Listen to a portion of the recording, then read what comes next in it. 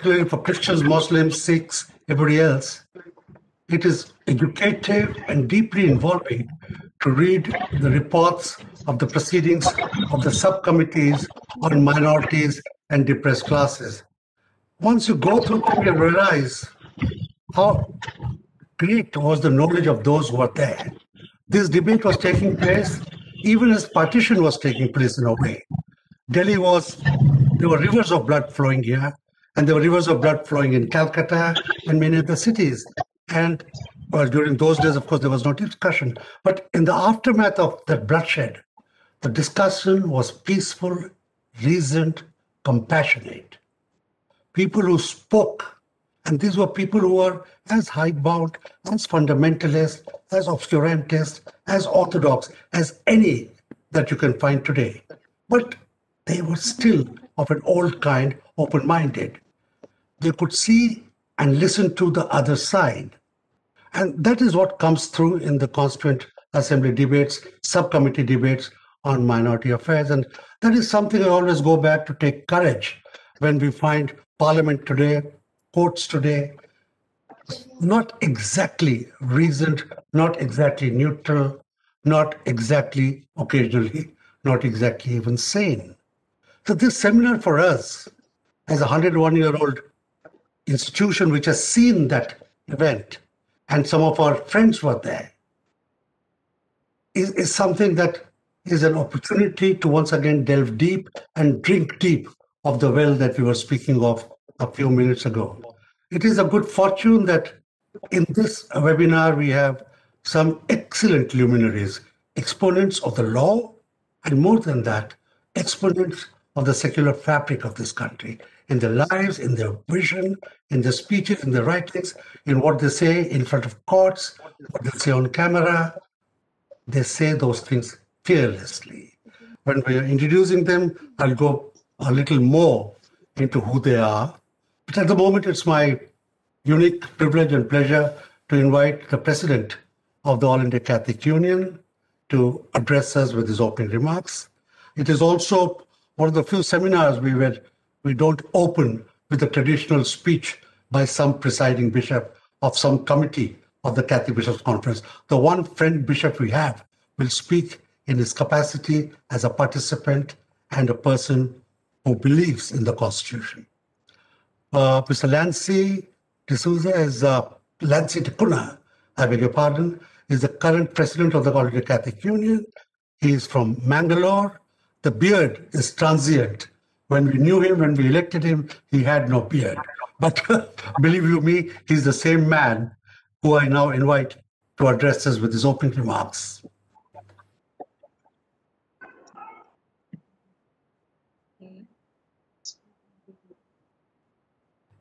Respected Dr. John Dayal, today's moderator, Most Reverend Bishop Theodore, Theodore Rebecca John, Senior Advocate, Supreme Court of India, Natasha Badhwar, author, filmmaker, and activist, Advocate Rafael De Souza, President of BCS, my dear colleagues in AICU, and respectful participants. Welcome you all for this webinar on defending constitutional rights organized by All India Catholic Union. A young friend, a lawyer in Orissa, reminded us this morning of the role of community played as a part of freedom struggle and from there in the Constituent Assembly in framing the Constitution which was adopted this day in 1949. Mr. Harendra Mukherjee, a Bengali Christian, was the vice president of the Constituent Assembly which drafted the Constitution. Mr. Mukherjee was also the chairman of Minority Committee which drew up the important guarantees which protect minority rights. The other members of the community included Frank Anthony, Jaipal Singh Munda, John Mathai, Reverend Jerome D'Souza, S.H. Pratap, J.M. Wilson, Joseph Alban D'Souza, J.J.M. Nicholas Roy, and P.T. Chacko.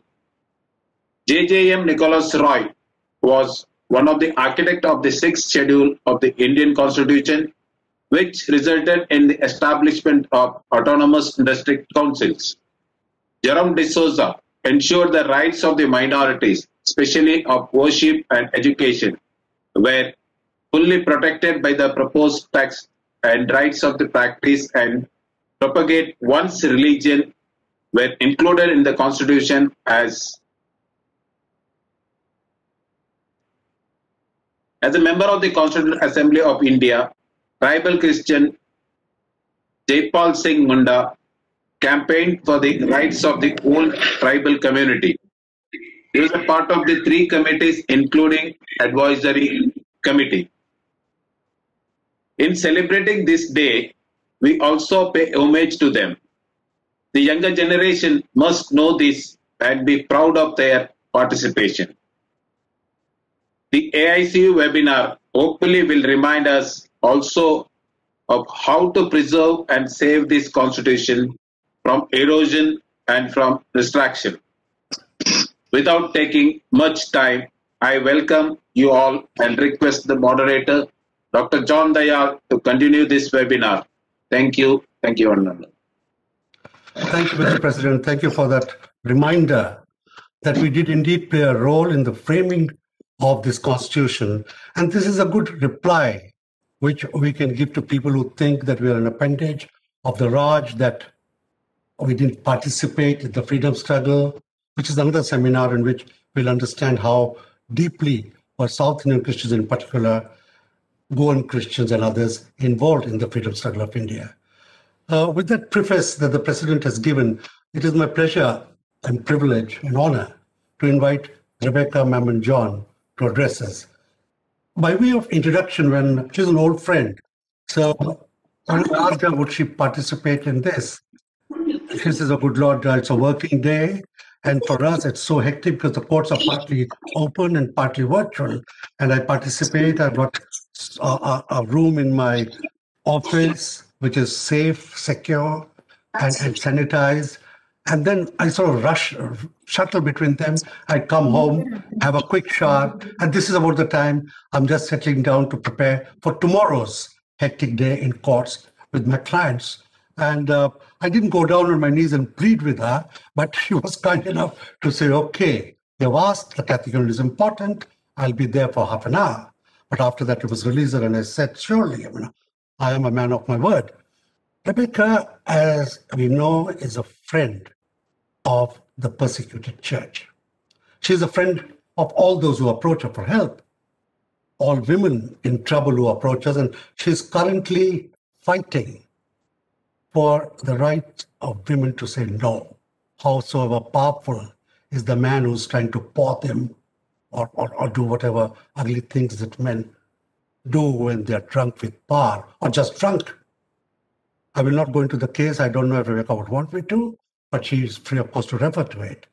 But also important is Rebecca has been involved in the justice process of Kandhamal, the rights of the seven accused who are in jail for longer terms than actual murderers are, 10 years without bail. And we had approached her for that. And she is constantly my counsel on issues of persecution whenever I'm in doubt or I need help or I just need moral support. I know who to phone up, which basement to go in defense colony and meet her face to face, and uh, so on and so forth. Rebecca is, as I said, a friend of the persecuted, a friend of the underdog. As an officer of the court, she has reminded judges of where they get off and where others who transgress the rights of the defenseless get off. Rebecca, 25 to 30 minutes, or as long as you wish, whichever is more. Thank you so much, John. That was such a lovely introduction. I don't know whether I deserve those kind words, but thank you so much for inviting me here. I'm delighted to be with all of you today and to speak on the occasion of Constitution Day. This has been an unprecedented year, and we live in unusual and difficult times. It is in such times that the celebration of our Constitution and the struggle that gave us this foundational document and its promise has become more significant than ever. The Constitution of India was drafted in the aftermath of an intense and bitterly fought freedom struggle against a colonial power. Arbitrary arrests, preventive detention, farcical trials were routinely and systematically used by the British in India to stifle dissent and imprison leaders of the freedom movement. Mahatma Gandhi was the editor and publisher of a weekly journal named Young India. Between 15th June 1921 to 23rd February 1922, Mahatma Gandhi published four articles titled Disaffection, a Virtue, Tampering with Loyalty, The Puzzle and its Solution, and Shaking the Manes. The sanction to prosecute under Section 124A of the Indian Penal Code, sedition, was issued with respect to these four articles, and during trial, the Advocate General contended that the offending articles were part of an organized campaign to harm the government. Gandhi pleaded guilty to the charge of sedition and said, and I quote, Section 124A, under which I am happily charged, is perhaps the prince among the political sections of the Indian Penal Code designed to suppress the liberty of the citizen. Affection cannot be measured or regulated by law.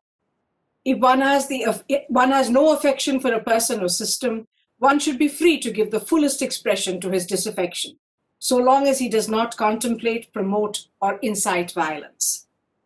But the section under which Mr. Banker and I are charged is one under which mere promotion of disaffection is a crime. I have studied some of the cases tried under it, and I know that some of the most loved of India's patriots have been convicted under it. I consider it a privilege, therefore, to be charged under such, such a section.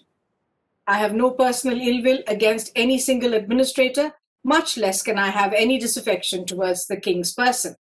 But I hold it to be a virtue to be disaffected towards a government which is in its totality has done more harm to India than any previous system. India is less manly under the British rule than she was before. Holding such a belief, I consider it to be a sin to have affection for the system. And it has been a precious privilege for me to be able to write that I have in the various articles tendered in evidence against me. Unquote. Gandhi was convicted and made to undergo a sentence of six years. Despite the Supreme Court of Independent India repeatedly emphasizing that Section 124A of the IPC can be invoked only if there's a direct incitement to violence, this law is routinely used to curb a citizen's fundamental right to free speech guaranteed under Article 19 of the Constitution. A blanket labeling of dissent as anti national or anti democratic strikes at the heart of the country's commitment to protect constitutional values and promote deliberative democracy. The destruction of space for questioning and dissent destroys the basis of all growth political, economic, cultural, and social. A head, headmistress of a school in Karnataka, along with a parent of a child, were arrested on grounds of sedition and kept in jail for nearly 15 days for staging a play that challenged the enactment of the Citizenship Amendment Act earlier this year. A man in Silchar was arrested for his Facebook post against the Prime Minister and kept in jail for a few days. Journalist Prashant Kanojia was jailed for a sarcastic tweet made against the UP Chief Minister Yogi Adityanath.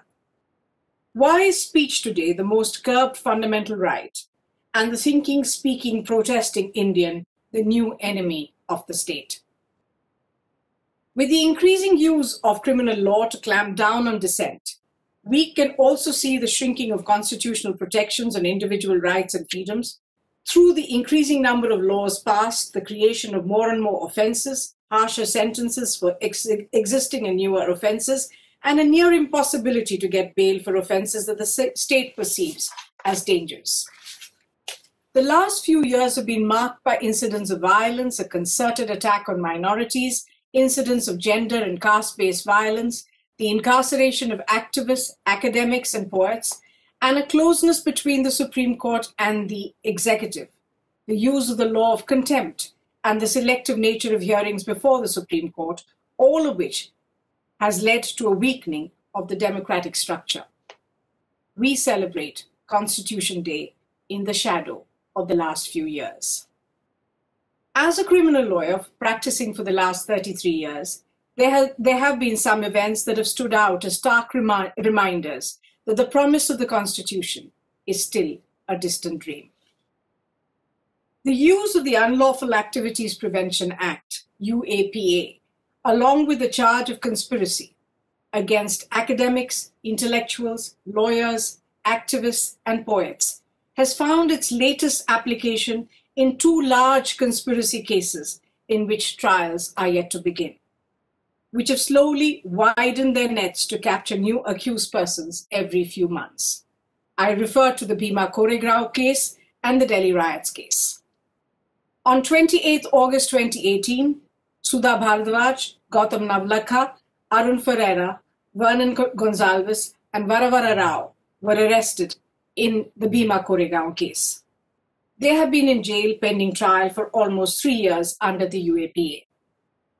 In a more recent spate of arrests, the NIA saw it fit to arrest an 83 year old Jesuit priest, Father Stan Swamy, in the same case. The National Investigating Agency was recently granted 20 days' time by a sessions court to respond to Father Stan's simple plea to be provided a sipper cup or straw in jail as he could not hold glasses easily because he suffers from Parkinson's disease. Today, a special NIA court in Mumbai directed the concerned medical officer in jail to reply to the requirements of a straw and a sipper after the NIA expressed its inability to provide the same to Father Stan Swamy. Several activists were named and arrested in the Delhi riots case under the UAPA, including Khalid Saifi, whom I represent, Devangana Kalita, Natasha Narwal, Umar Khalid, and Safura Zargar. Many others have been named as accused and interrogated repeatedly and have yet to be arrested. Laws like the UAPA are meant to apply to exceptional situations. However, the increasing use of the law shows that the exception has become the norm, and the safeguards and guarantees of criminal law are diluted by the harsh extension of state power through these laws. One example of the harshness of the UAPA lies in the time allotted for custody of an accused during the period of investigation. The Code of Criminal Procedure, which is the general law, allows for persons to be put in custody for a maximum period of 60 or 90 days, within which the charge sheet has to be filed.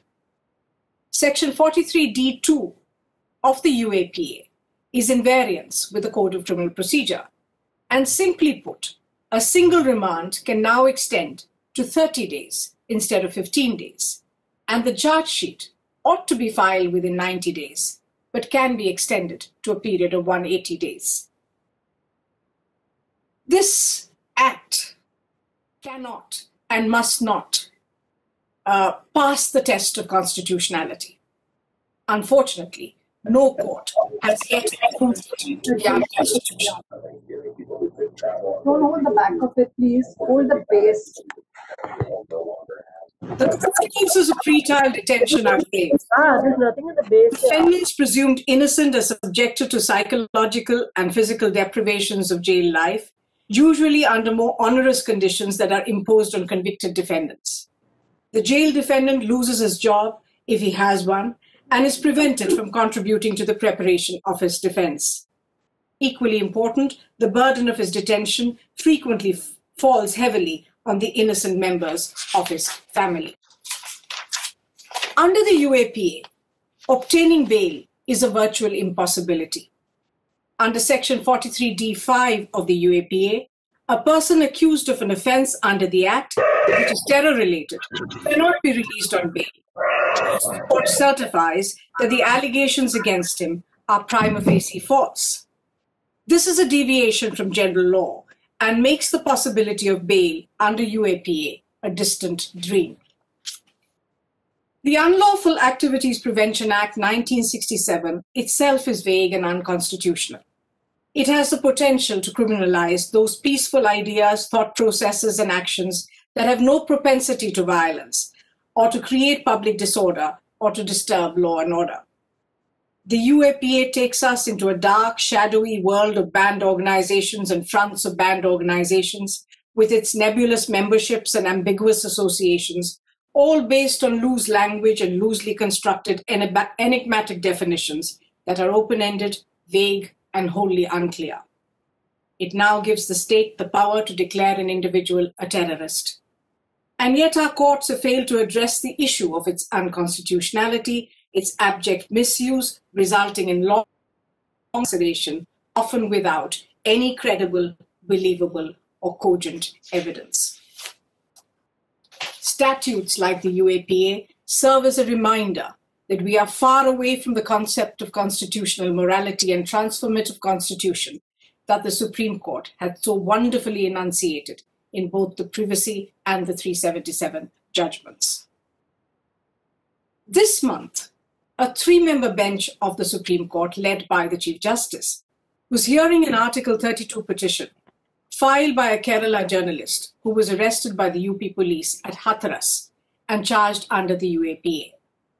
The Chief Justice of the Supreme Court of India thought it fit to remark, and I quote, We are trying to discourage Article 32 petitions. Of late, we find a spate of Article 32 petitions, unquote. There can be no occasion for the highest court of the, of the land to make such misplaced and unnecessary remarks.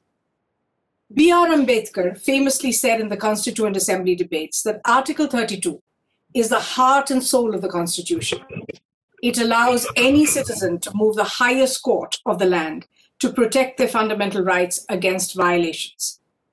Ambedkar said, and I quote, if I was asked to name any particular article in this Constitution as the most important, an article without which this Constitution would be a nullity, I could not refer to any other article except this one, Article 32. It is the very soul of the Constitution and the very heart of it. Unquote.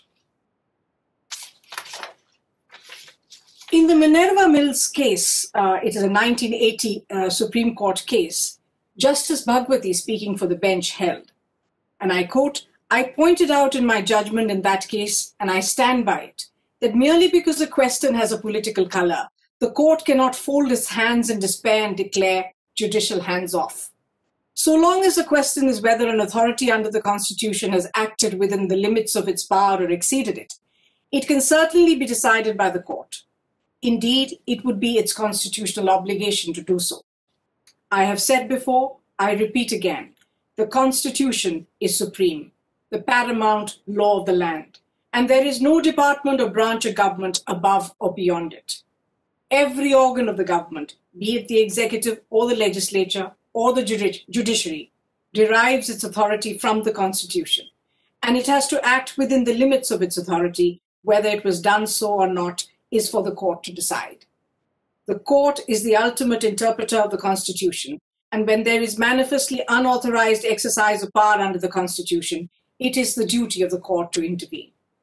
Let it not be forgotten that to this court, as much as to other branches of government, is committed uh, is committed the conservation and furtherance of constitutional values. The court's task is to identify those values to constitutional plan and work them into life in the cases that reach the court. Tact and wise restraint ought to temper any power, but courage and the acceptance of responsibility have their place too. The court cannot and should not shirk its responsibility because it has sworn its allegiance to the Constitution of India and is also accountable to the people of this country. So when the Chief Justice of India made that comment, he perhaps forgot some of these landmark judgments that were passed earlier and before he took over as the Chief Justice of India. Article 32, therefore, breathes life into the Constitution, allowing us, the citizens of India, to move the highest constitutional court and demand from it the protection guaranteed to us under the Constitution. It is a refuge for the common person that makes the social contract between citizen and the state enforceable and acceptable. While the Chief Justice had claimed that the courts are discouraging petitions filed under Article 32, selective hearings for some have led bare contradictions. I'm going in functioning of the court. Journalist Arnab Goswami was given was given bail at breakneck speed, complete with judicial observations about the importance of an individual's liberty. But habeas corpus petitions from Kashmir have languished for many months. An entire state is functioning in a pandemic without access to high speed internet, crippling the rights of its residents to participate in normal social and economic activities. Petitions challenging electoral bond schemes are pending. And of course, several of our intel- intellectual giants remain incarcerated. In addition to the process of dilution of rights through the courts, we have seen a recent attempt to change criminal laws of the country. On July 8, 2020, a committee was set up under the aegis of the Home Ministry with an all male upper caste five member panel and was given the short time frame of six months within which it would submit its recommendations. I was a signatory to two letters of critique and concern addressed to the committee for criminal law reforms dated 8 7 2020 and 16 7 2020. This was also signed by former Supreme Court judges, High Court judges, senior advocates, advocates, bureaucrats, and academicians.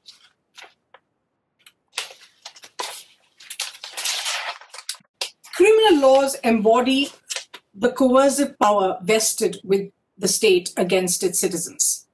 The state defines offenses which are crimes against society. Since an offense is a crime against society, it is the responsibility and duty of the state to ensure that the offender is found, pro- prosecuted, and punished. A person accused of committing a criminal offense is faced with the might of the state machinery. Our collective experience has shown us that more often than not, the brunt of coercive criminal laws is borne by the most marginalized and vulnerable sections of our society, who are often not in a position to access quality legal representation or participate in the process of lawmaking. The coercive power of the state is also used against those who are ideologically different and those who dissent. As we speak, the Uttar Pradesh government has passed a draft ordinance ridiculously called Love Jihad that challenges the validity of interfaith marriages.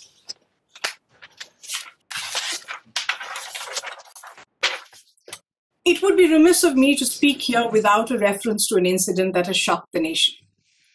On September 14th, a 19 year old Dalit woman was allegedly raped in the town of Hathras in Uttar Pradesh. Her neck was lacerated, her tongue gashed, and her vertebral column damaged on account of fracture of the sixth vertebrae. Her vaginal swab was reportedly taken 10 days after the incident, and a few days later, she died in a hospital.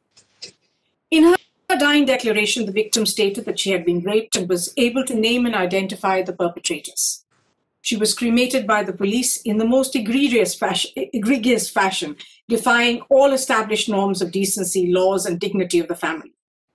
We are aware of the fact that the victim belonged to the landless Valmiki community, whereas the men named by her in her dying declaration were from the upper caste Thakur community. That dangerous caste divide determined some of the actions of the police in the days that followed. On the 1st of October, the investigating agency released statements to the press stating that there was no evidence to show that the young woman was raped because a vaginal swab, did not reveal the presence of semen. This over reliance on medical and forensic evidence is deeply flawed. This is despite the fact that the 2013 amendments to the Indian Penal Code and Code of Criminal Procedure do not make the charge of rape dependent on the presence of semen. Following the Criminal Law Amendment Act of 2013, the definition of rape was amended to include offenses beyond penovaginal penetration. It includes penetration through an object or anything else into any sexual part of a woman's body, various forms of oral sex, or any other, fo- any other form of forced act with another person.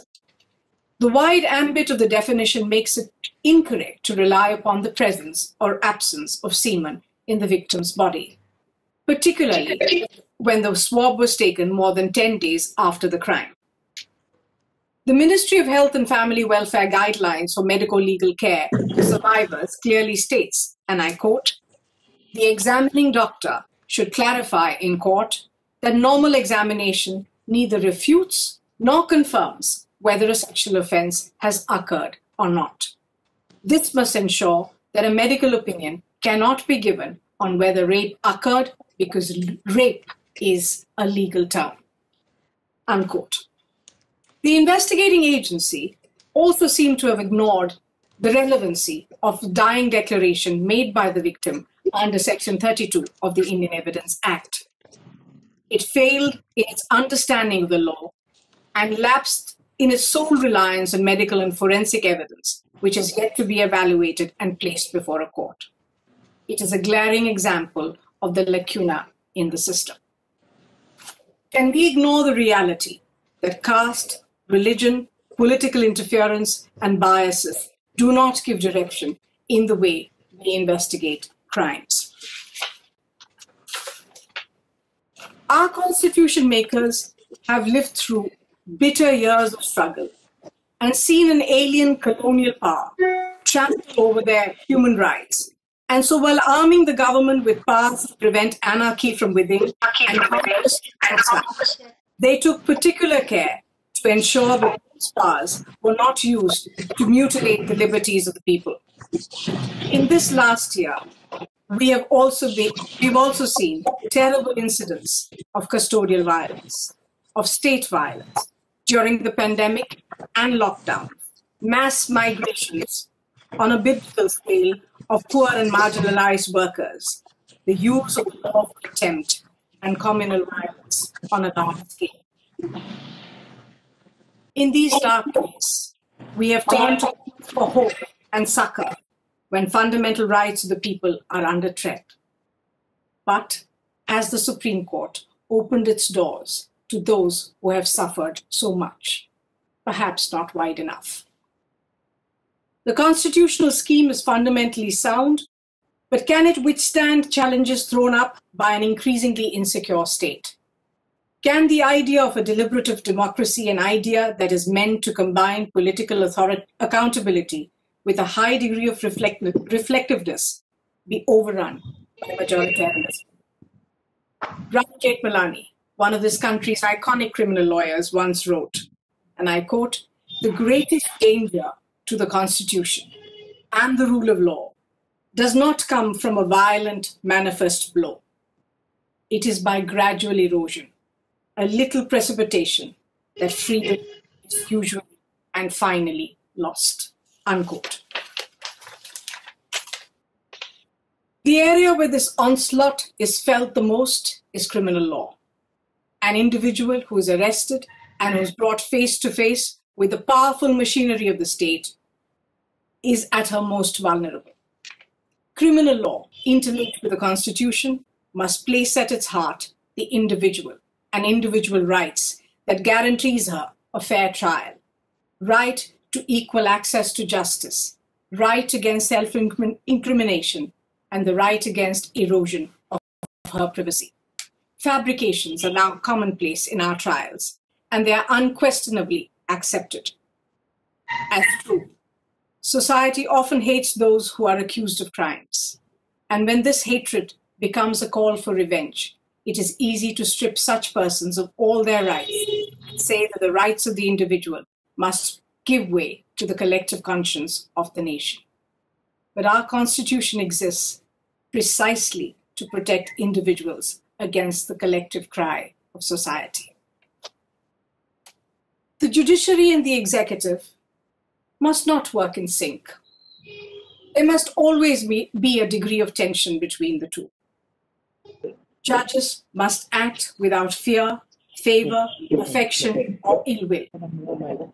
And as Gopal Subramanium said earlier today in a lecture to Oxford University, without an independent judiciary, the Constitution is little more than a statement of empty promises.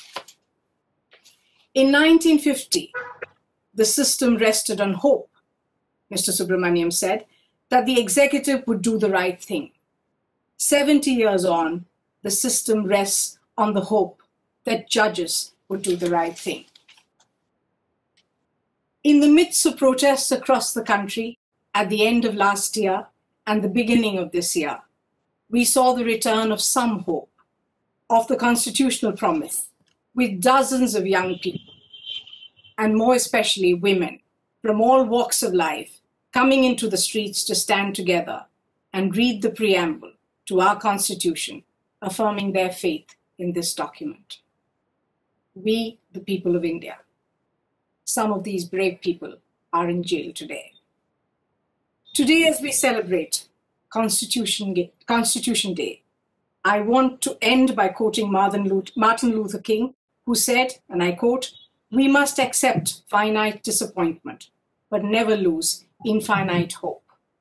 The struggle to fulfill the promise of the Constitution is unfinished, and we must continue the struggle in courts and outside with hope. After all, our Constitution is nothing but a document of hope. Thank you.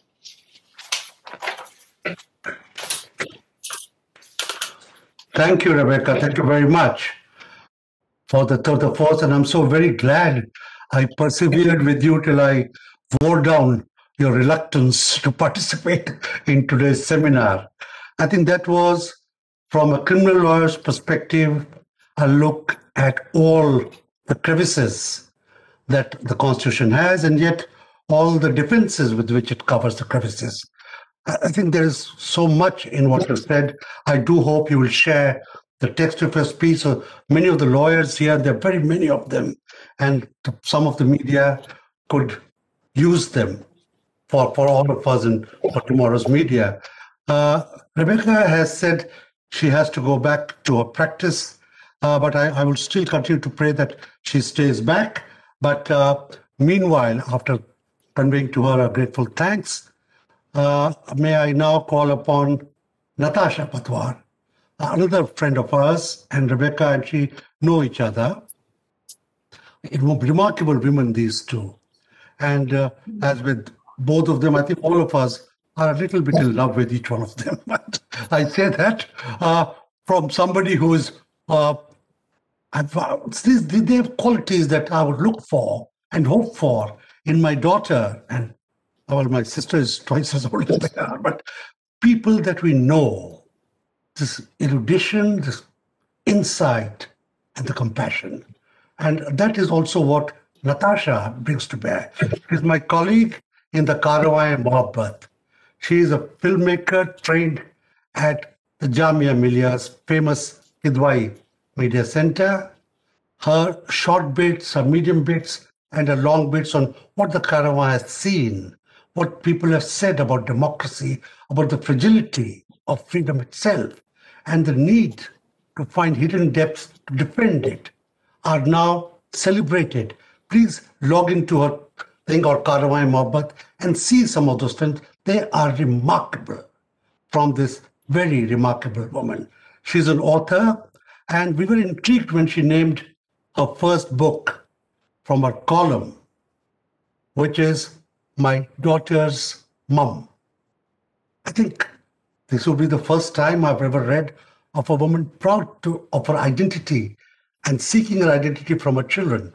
And, and when you go through her columns, when you go through her books, when you talk to her, when she accompanies you on trips to 100 widows of 100 people killed for the suspicion of carrying beef, for being suspected to be witches, for being suspects to be child lifter for being just suspects, not even tried by a court of law. And you look into the eyes of those people, and then you look at Natasha's face when she is looking into the eyes of those people, then you know what it means to be what Jesus would have said love your neighbor as you love yourself. For greater love hath no man. Uh, it is therefore a friend and a very loved friend at that, that I introduce this remarkable woman, Natasha Badhwar, to this remarkable audience of Catholics. You know, we are terrible people. We don't think anybody else is as good as us. But you're invited to join us, Natasha. Thank you, John. I must start uh, by reiterating that we love you too. Uh, it's uh, fantastic to have had your company throughout the journey of the Karwani Mohabbat. It's uh, been a great learning experience, and you're the reason that we managed to get two meals a day when we were out on the roads uh, because you would look out for everyone uh, and uh, we would look out for you as we traveled on those highways. So, uh, and thank you very much for inviting me here today. Um, my, the last three years of my life have been uh, flashing by as I try to recall point by point um, the, the story I want to piece together today, uh, the story of our country, our society, uh, what is happening in our families and in our own psyche as we watch uh, what is no longer a gradual uh, decline, but a very accelerated disintegration of our democracy, of our collective morality, of what we understand as good and bad and true and false. And uh, the, the fog thickens every day uh, as the newspaper hits our uh, door every morning or we check our phones to see what's new. Um, the confusion gets worse and worse, and, and therefore it becomes even more important for us to meet in the way that we are meeting today uh, and, and to find every which way in, in which we can actually express to each other, express to ourselves, try to separate uh, fact from fiction, and and and and find a path that will beat through uh, this fog and uh, take us to, towards the light again, in a sense. So I'm I'm going to uh, tell this from the perspective of a campaign uh, a campaign called uh, Karwane Mohabbat, uh, which is in itself a journey. The Karwani Mohabbat would translate as the caravan of love. It was announced in August 2017 uh, by Harsh Mander uh, in the form of a fundraising campaign online. And um, while many uh, people had heard of Harsh Mander, uh, many of us had read him, uh, and many of us were in our homes and in our uh, professional spaces, beginning to feel this very restless helplessness as we watched the spate of lynchings take off uh, ever since uh, uh, 2014. 2015 was uh, the first um, hugely reported lynching, which was that of Mohammed Akhlaq in Dadri, which was followed very quickly by the lynching of Pehlu Khan in Mewat, of Junaid in a train uh, as he was going back from 16 year old Junaid, as he was going back from Delhi uh, to his home in uh, UP. And, uh, and the news began to, uh, you know, what seemed like isolated incidents, what seemed like uh, murders that were taking place in that, that did not seem to have any connection with each other, soon began to uh, you know, we began to suspect that there was uh, that there was something that there were some dots that needed to be con- uh, connected, and yet uh, the media wasn't doing it for us. The judiciary, the state, the police wasn't doing it for us, and it fell back to civil society to find a way to organize ourselves. Um, in 2017, mid 2017, um, there was a campaign that started in Delhi uh, called "Not in My Name."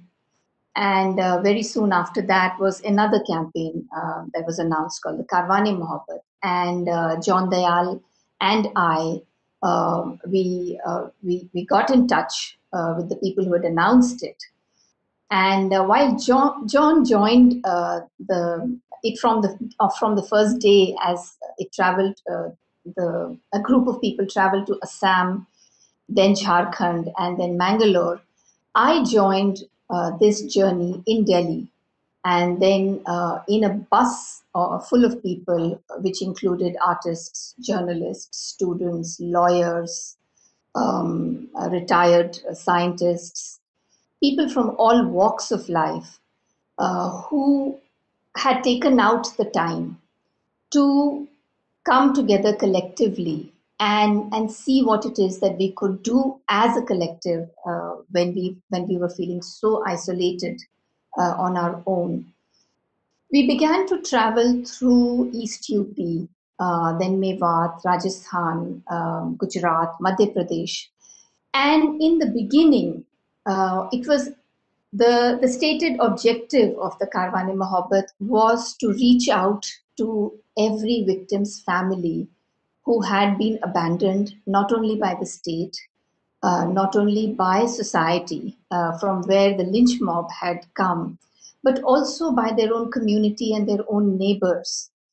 Because what we were beginning to see, uh, the pattern that was beginning to be very clear was that as soon as a heinous crime like this took place, very quickly the narrative would be built that the victim himself uh, had some kind of a criminal um, background, that the victim himself was um, was the person who who was responsible for the crime that was committed on himself. So Muhammad Akhlaq in Dadri was accused of having beef in his house. Pehlu Khan, who had just bought a milch cow and he was a dairy farmer for 55,000 rupees and he actually had the uh, the government certificate to say uh, to show that he had bought that cow uh, uh, as a dairy farmer was accused of buying a cow for the purpose of sacrificing it for of killing it. Uh, Junaid uh, was killed because he was a Muslim.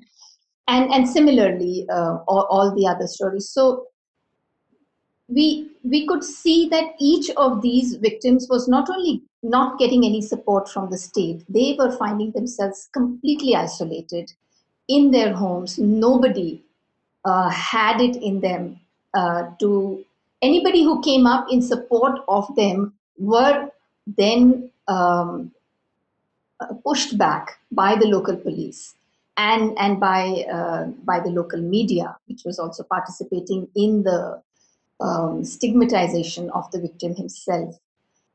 Um, and when we when we began, so so so we wanted to reach out to people to whom nobody had reached out to. We wanted to be able to tell their story on various platforms and to continue to tell their story till everybody uh, would agree that this uh, was something that needed to be paid attention to uh, we wanted to find a way to identify what the needs of the family were. Uh, usually, we would meet a widow, we would meet elderly, aged parents uh, who were completely bereft, and we would meet young children, none of whom uh, were empowered enough uh, to be able to support the family anymore in terms of a livelihood, leave alone deal with the grief that they had to uh, cope with and and the legal processes that they were uh, inept at being able to navigate. Um, so we we thought this would be a six month journey. We thought it would be work that would be done in a year's time and there would only be follow-ups after that. But what we discovered was that the further we went the more the number of uh, lynchings uh, uh, you know began to increase. And they they continued in newer areas. Uh, we ended up john uh, Harsh Mander uh, priya ramani uh, myself once in a while my teenage daughter traveled with us. We were joined by many volunteers by retired civil servants by journalists artists um, it professionals. Pe- people would hear of the journey and when it came close to them they would join they would fund it. Uh, what we uh, what we began to see was this this was becoming an endless quest and that there was no going back. That this was something that where we needed to fortify ourselves more and more and we eventually um, began we, we created a legal team to be able to support those victims we created a media team to tell their stories on various platforms in different formats. So we were writing, we were making films, we were uh, sharing them on social media. We, we continue to do that. And we created a psychosocial support team uh, who, uh, you know, reached out to the family continuously to make sure that their healthcare needs, their education needs, their livelihood needs, to some extent were taken care of, that they were not alone on the days that they had to go to court, because many of them uh, continued to face uh, the threat of violence when they pursued the cases uh, in their fight for justice.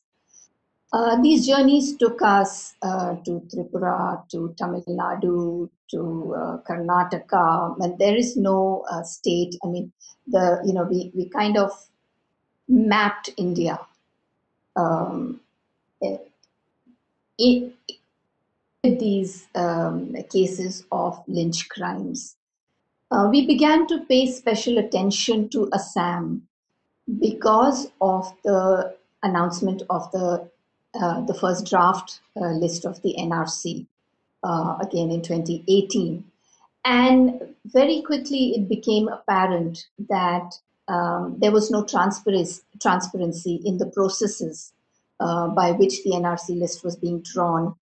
That very systematically the poor Bengali Muslim community of Assam was being targeted, uh, and that there were the, the people who were being left out of the NRC uh, were usually people who did not even know uh, what the rights, what their own rights were, who did not have with themselves any of the resources to be able to navigate the systems that they were required to when they had to present their identity cards or get, uh, you know, their own identity cards made.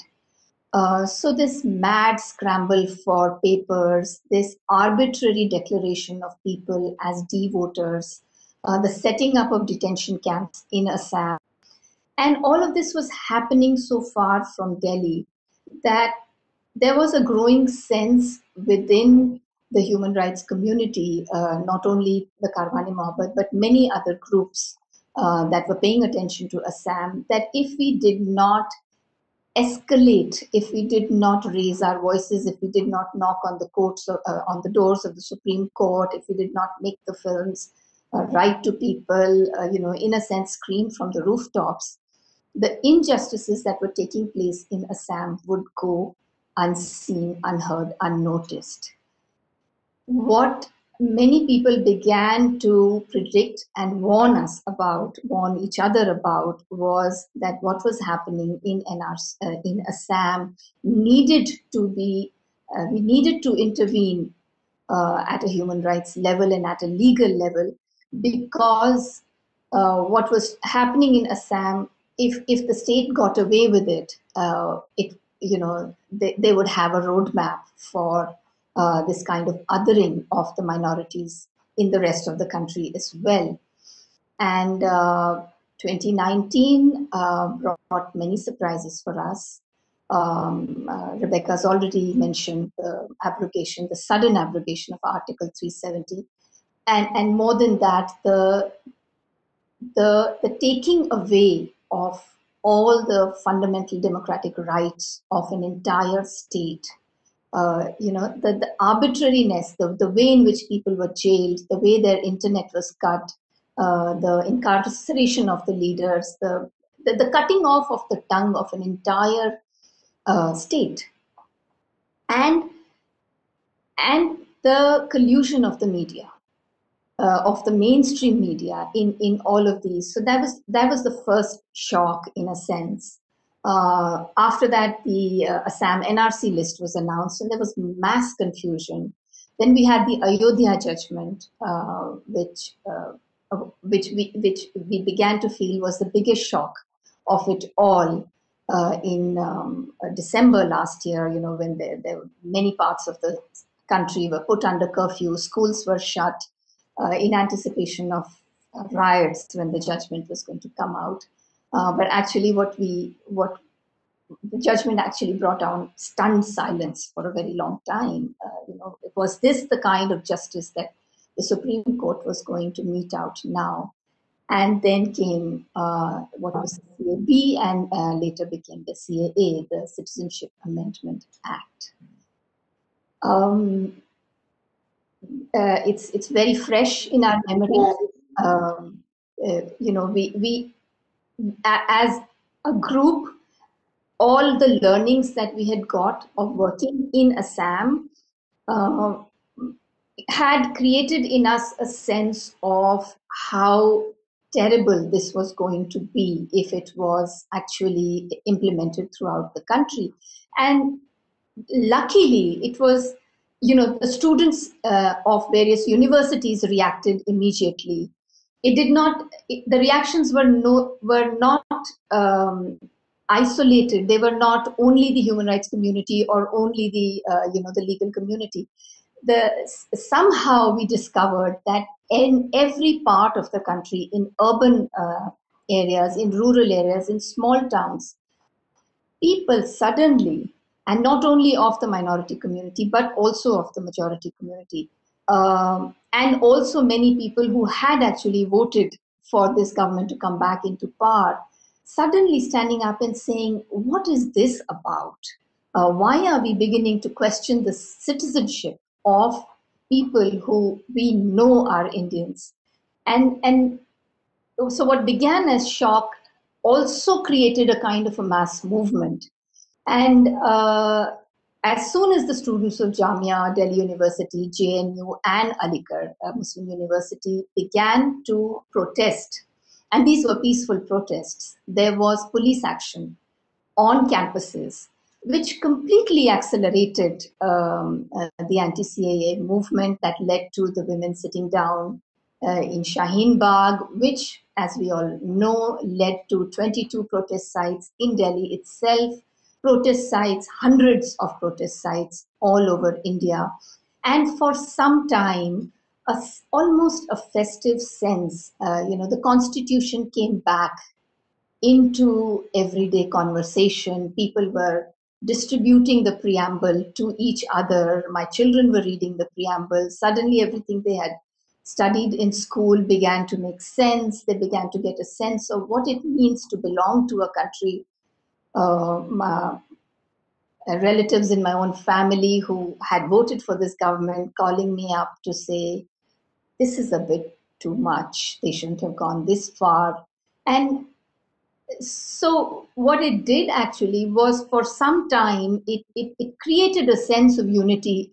Uh, it created, it, it brought back a sense of what it meant to be a, what it means to be a peaceful democratic society because suddenly everybody had a sense of threat uh, you know the, the announcement of the npr and what we were also witnessing was the spilling over of uh, unprovoked police action what started on the campuses of delhi uh, of, of universities then happened on in Mandi House in Delhi, on Jantar Mantar, uh, and uh, spilled into the small towns of Uttar Pradesh. Uh, December 2019 saw a level of violence uh, of the police targeted towards peaceful protesters, poor protesters, Muslim neighborhoods throughout the small towns of Uttar Pradesh at a scale that brought back memories of Gujarat 2002 to many of the people who had seen both. And because this was so close to Delhi, because we were already all on high alert, many, many organizations came together, and many of those uh, now have somebody or the other uh, incarcerated as a political prisoner. And Rebecca mentioned many of those names. Uh, so, um, uh, you know, organizations like the uh, like Pinjra Tod, uh, Karwane Mohabbat, um, Action uh, um, um, Against Hate. Um, sorry, I'm forgetting the United Against Hate. Um, uh, so, you know, we we we all came together. We all began to have urgent conversations with each other. We all began to collaborate on the ground to reach out to victims who were not only being uh, who were not only facing police violence the scale of the violence spilled into hospitals.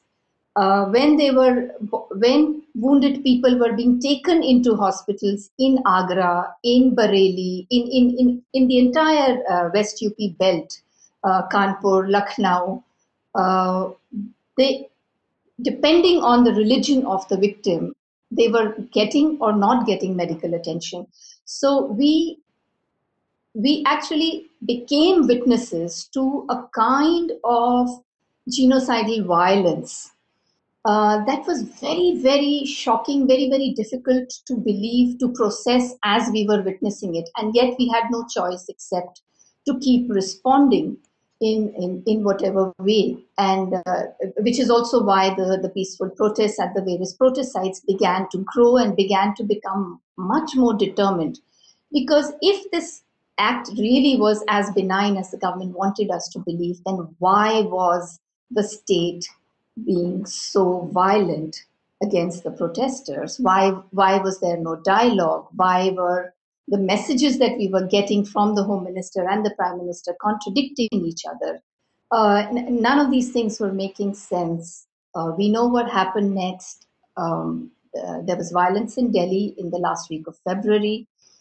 Again, uh, it unfolded before our very eyes. Not only did you have to, you know, was it very not only were we on the ground, many, many of us on the ground witnessing the violence, but the violence was being played out live on our social media streams.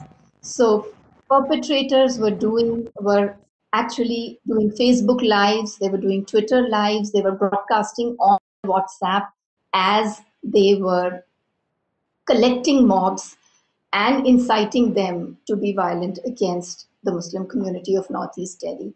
These videos are in the public domain.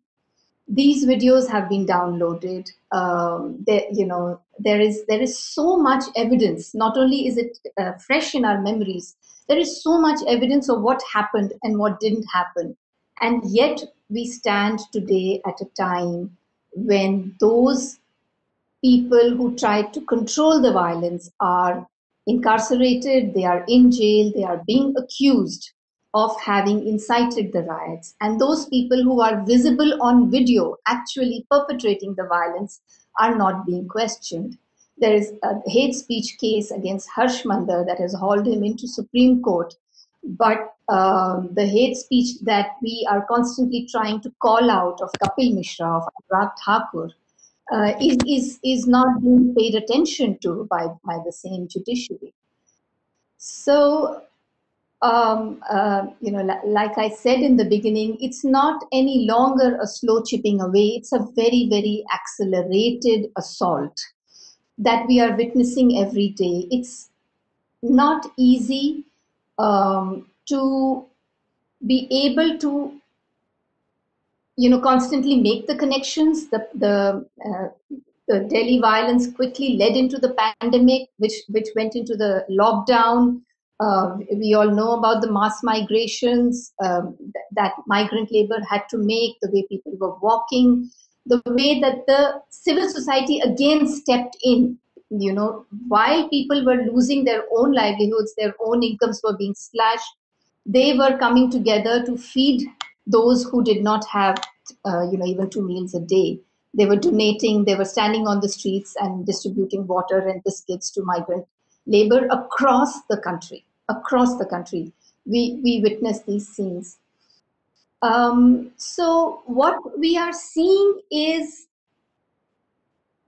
is you know what is hopeful this entire scene is the consistent reaction of civil society how one group is able to inspire another group one of the places we went to in february this year was malerkotla Malerkotla in Punjab is a, is a very small town.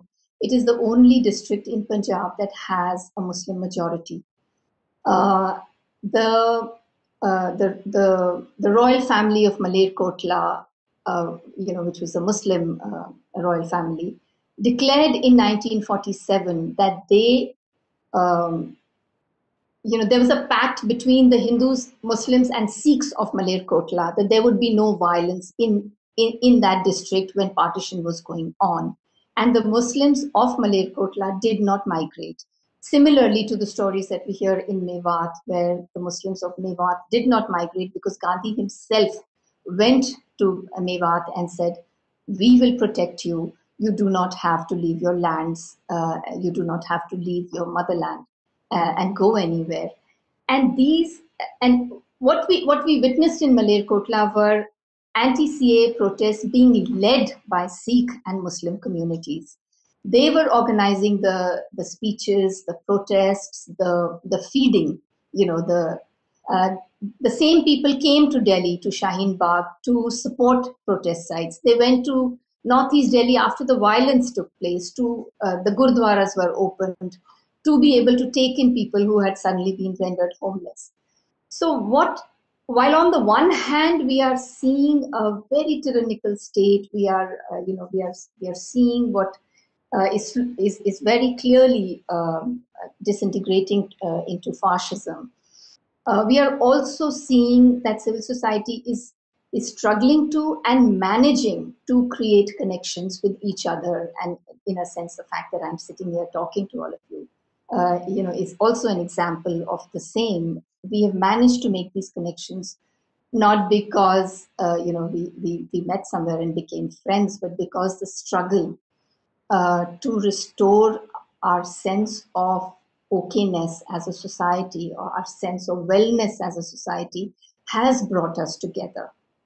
And um, that is what uh, gives me a lot of hope. That is what uh, i'm sure um, gives every uh, everyone else who gets involved in this uh, a sense not only of hope but of energy, of determination, uh, of knowing that uh, you know while we may uh, you know that that while we are uh, also experiencing the grief of of losing something that we had taken for granted, of watching in 2020 what seems like uh, the dark ages descending on our country.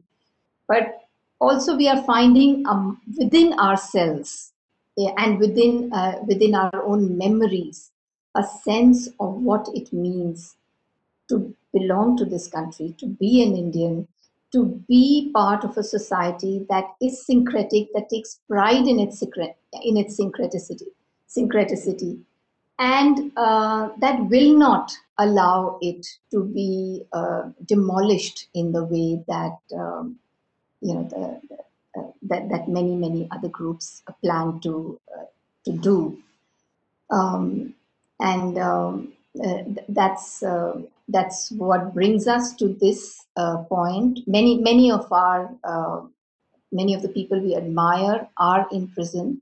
We have to remember every day that our solidarities must remain strong, that um, uh, lawyers, um, writers, academics, I mean, many of us have sacrificed different parts of, uh, you know, our comfortable lives to be able to do um, the work that we are doing. But but there's also the realization that there were, there is no way in which we can salvage uh, what we know as normalcy unless we are willing to rise above ourselves and um, and, and hold each other's hands and, and create collaborations. Um, so with that, I hand over back to John Dayal. If if there's uh, any part of the story that I missed, John, please add it. Thank you very much. There is something you did miss, and I would not want to speak out then. But uh, Natasha herself and our family are a glowing example of what it means to share love with so many different groups of people Hindus, Muslims, Sikhs, and so on and so forth. And I hope sometime in the future, Christians too, Catholics in particular. But thank you, Natasha. Thank you very much because you have taken what Rebecca began on this document also as a document of hope for the future. But I would like to add that it is not a straw at which we clutch. It's, it is a living document, and it has been buffeted many times before. As Christians, as Christian activists, as Catholics, the Catholic Union was the first to protest. And back in 1950, the basic empowering clause in the Constitution, Article 341, which said that because Dalits have suffered for 3,000 years inhuman, absolutely an inhuman existence, they need support. There was no question of religion at that, whether they were Muslims, Sikhs, Buddhists, or Hindus. All of them had been suffering the same thing because caste was in the soil of this country, and the Constituent Assembly had discussed it. The first, among the first few erosions of the Constitution was the Presidential Order of 1950, which said, which took away, in fact, the right of freedom of choosing a religion from the Dalits. Brahmins had it, Kshatriyas had it, everybody else had it. But the Dalits had to remain Hindus if they wanted to take this gift from the state. If they became Sikhs or they became Buddhists or they became Muslims or they became Christians, they would be deprived of their jobs, their seats in parliament, their scholarships, their seats in engineering colleges. They would be reduced and sent back to the gutters which they were cleaning for 3,000 years. This was removing and confining the freedom of faith on the most classic articles in the constitution only to an elite and not to everybody else. The Sikhs fought, the Buddhists fought, and they got it back. The Muslims and the Christians are fighting now, and the Catholic Union led the fight for the last 70 years. We are yet to get it because the courts also have been insidious in the treatment of it, despite expert committees, judicial commissions finding in favor. But this is just one of the many things. The anti conversion laws now in eight states, quashed by many high courts, upheld unfortunately by the Supreme Court. These are issues that disturb minorities much and feed our fears. Our next speaker is Theodore Mascarenhas, Bishop, a member of the Pilar Fathers, a scholar, an activist, a fearless man, outspoken man, maybe sometimes speaks a bit too much according to some others, but he is known for speaking the bitter truth. He is today the auxiliary bishop of Ranchi, and he and his bishop led the longest protest chain in favor of Stan and his co, what should I call them, co-jailees, co-prisoners, asking for the release. The fight in Jharkhand is consistent. They persuaded the government to come and support the cause. And we look, by the way, Bishop, you know that two of the lynching cases that Natasha spoke of and I mentioned were of Catholics in Jharkhand, lynched on the suspicion of carrying beef. That is how the anti-socials don't discriminate. The socials, unfortunately, seem to. Bishop, your floor. Uh, thank you, John. It's a little difficult to speak after two brilliant women speaking before you. Uh, Rebecca and Natasha, they have laid out quite a bit of material before us. And uh, I live among very poor people here. Do I stay in Ranchi? I visit the villages, live among the Adivasis. And my journey consists a little bit in experiencing their poverty, their hopes, and their dreams. And this Constitution Day, think I'll just share a few of my experiences um, with uh, a little bit of constitutional knowledge. Uh, a few things. First, the nature of our Constitution is equally proportionate to the nature of our country. I think this has to be kept in mind if we want to understand our constitution. Our founding fathers were facing poverty, extreme poverty, had a country that was facing extreme poverty, was facing caste discrimination, was just recovering from riotous bloodshed, as we have already spoken. And they thought they would live, they would leave a vision of a country that hopefully would be different in the future. Has it become different? Has, have things changed? I would say to a great extent, this country has made many, many leaps forward. But there are many, many things that have not been done And there are many, many things that we are falling back upon. And I think uh, this is very important because what actually is happening to this country today? This, this is the question that we have to ask. See, I, I said I have an experience of going down into the into the villages, and down in the villages you see a health system that does not exist, an educational system that either discriminates education to such a great extent, or an education system where sometimes schools are held under trees. And uh, speak of online education today, thousands, millions of children have no chance of educating themselves. A whole year lost in this so called online education.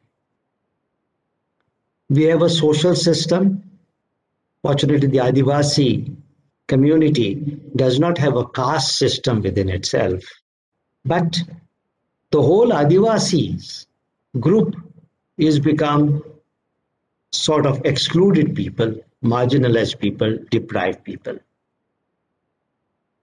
It is in that type of a country that we were living till new problems have started coming up.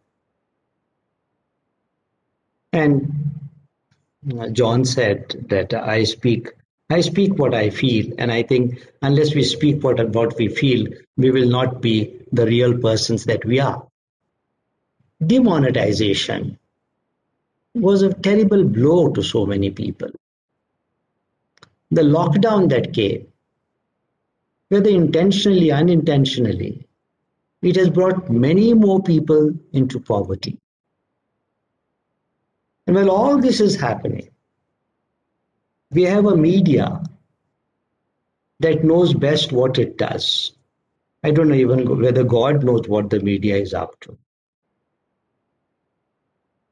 we have institutions that at least to me appear to be heavily compromised. Judiciary, we had the case of Mother Teresa's sisters, which we are still fighting. We have the case of uh, Father Alphonse, who is in jail without even knowing the, who those people were who wanted to organize a program in his in his school compound we come to what the preamble tells us. It speaks of justice, liberty, equality, and fraternity. And on all four counts, I would not like to mark the country, I would not like to mark the progress, but a lot of introspection has to be done. When we speak of justice, Uh, Natasha and Rebecca have spoken much in depth about real life issues. I'm, I would like to speak on a much deeper level that we are facing here. What chance has a poor Adivasi of getting justice in any of our courts? How many lawyers would be able to help them if at every sitting you have to pay a minimum of 10,000 rupees. Where can a poor man go to get this justice? And when you appear in court, adjournment after adjournment, adjournment after adjournment, and at the end, you do not get what you want in a lower court, you move to a higher court, and if the other one wins, he goes into a higher court. Where can the poor go to fight for this justice? This is a question I am asking a question as a pastor that I see people. When we speak about justice in the health system, where is the justice?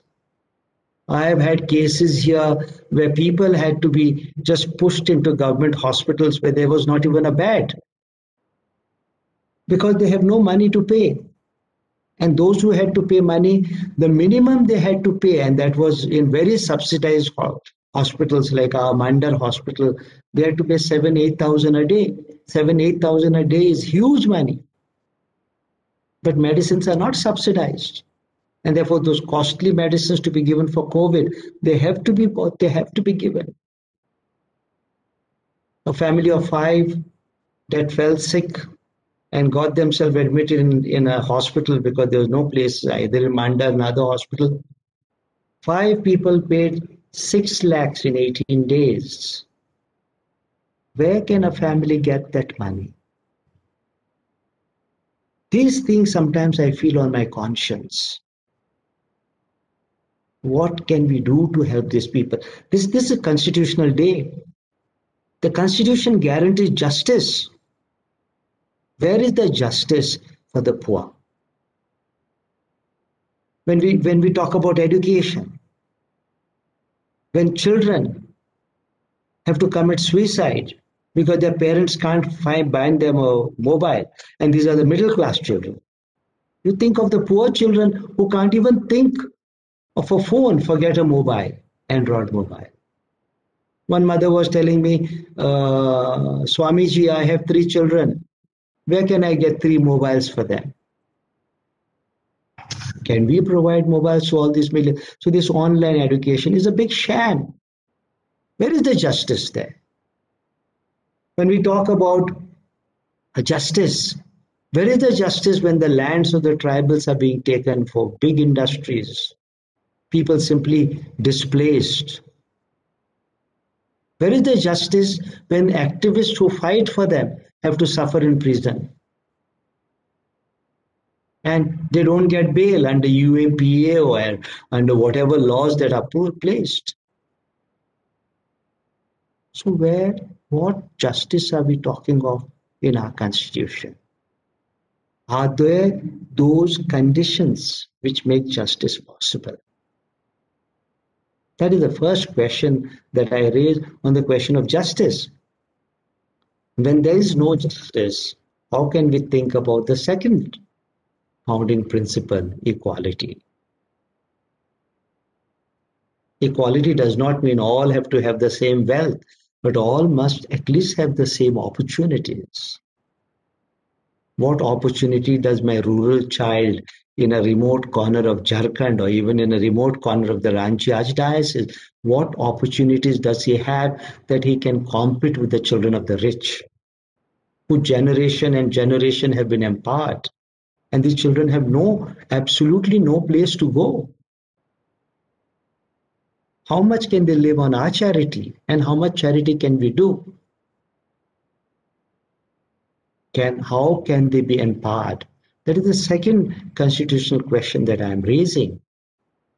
Because the Constitution promises them equality, equality before everything, before law, equality in opportunity, equality in a right to their to their living and the type of living. We talk about fraternity. Fraternity is something they keep on uh, quoting a lot of Sanskrit, and I'll say and say uh, that this country has a long tradition, long tradition of communal harmony. It's true, but this country also has a long tradition of communal disharmony. And those wedges, those divisions are being made sharper and sharper. Hatred, uh, John uh, rightly said, uh, there were lynching here in Jharkhand. That was before I came back here. Uh, I was in Delhi at that time. It was in the transition period. There were lynching of Catholics here.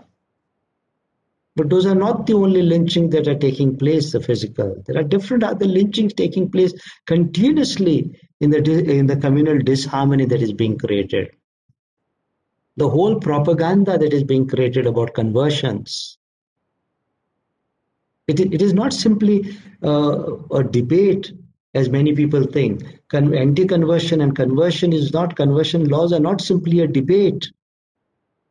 Behind that whole platform of conversion and anti-conversion, there is a hatred being created against the Christian community. There's, there is there is a, a hatred that is going deep into the blood of the youngsters. And that is my worry for this country. First, it was with another community. Now it is with our community. Tomorrow, it will be within the community. And and this whole question of secularism is is not only about the church fighting for it or the Muslims fighting for it. I think the majority community should be equally worried because when there is no harmony in this country, there'll be no progress. When there's no progress, again there'll be more disharmony. And the lack of development cannot be covered by speeches inciting communal violence. The lack of not doing anything for the people, for not fulfilling promises, whatever government it may be, whichever, whether state, central, whichever, nobody should use religion to put one against the other. That was not what religion was meant for.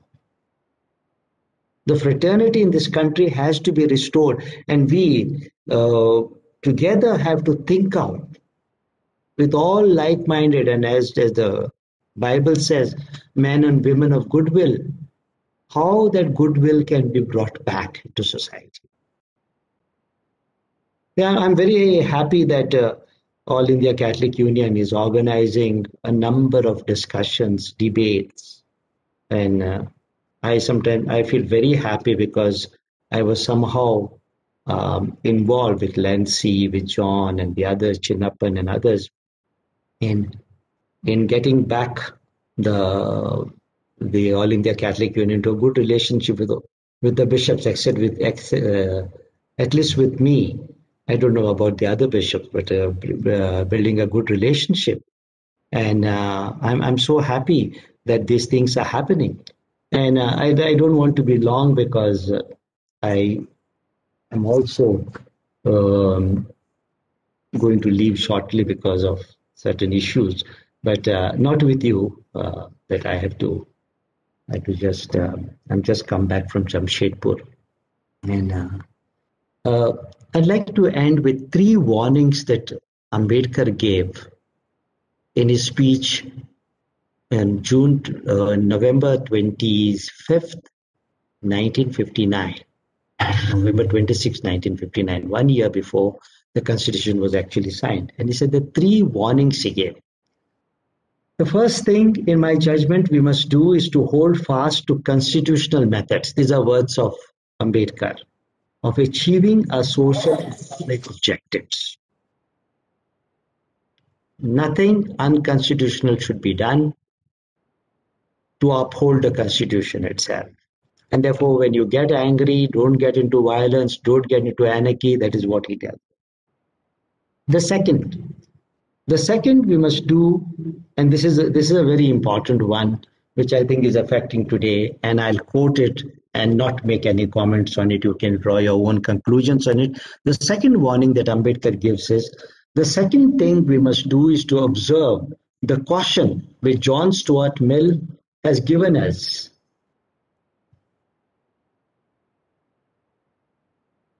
John Stuart Mill has given us to all who are interested in the maintenance of democracy, namely, and listen attentively, not to lay their liberties at the feet of even a great man, or to trust him with power which enables him to subvert their institutions.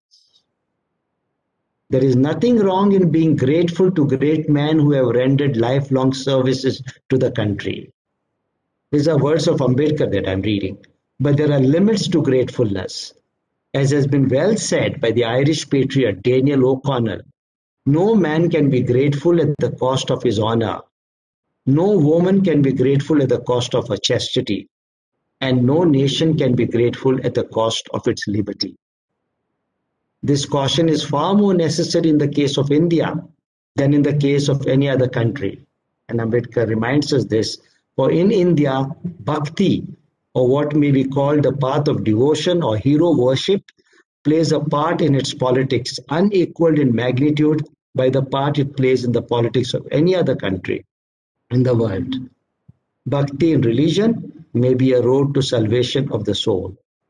But in politics, bhakti or hero worship is a sure road to degradation and to eventual dictatorship.